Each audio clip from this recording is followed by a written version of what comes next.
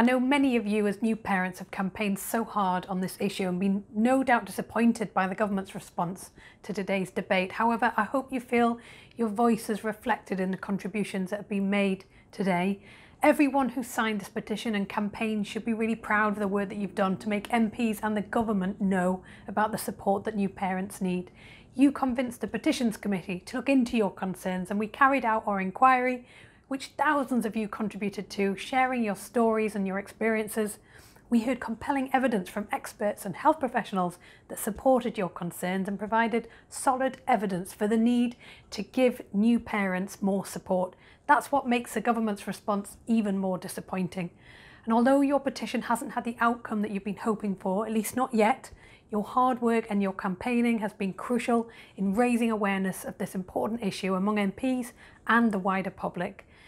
The petition debate today is the end of the petitions process, but it's certainly not the end of the campaign.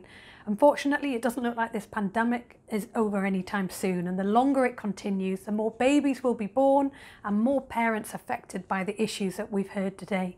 It may already be too late for some of you who've took up this campaign, but the issue isn't going away and the action is still urgently needed. So I want to take this opportunity to say thank you to all our petitioners. I hope you have the energy and the tenacity to keep up this campaigning work on this issue. And as a constituency MP, I will personally support your campaign wherever I can.